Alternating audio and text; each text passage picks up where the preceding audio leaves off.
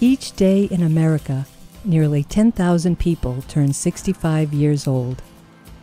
With a population of approximately 15 million, New England lays claim to the largest percentage of baby boomers in the country.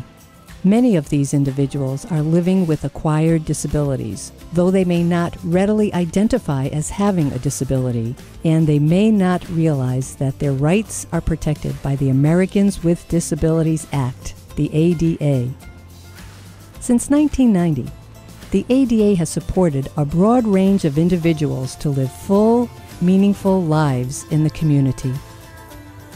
New England ADA Center works closely with those with rights and those with responsibilities to implement the ADA. For more information, contact us today at newenglandada.org, a project of the Institute for Human Centered Design.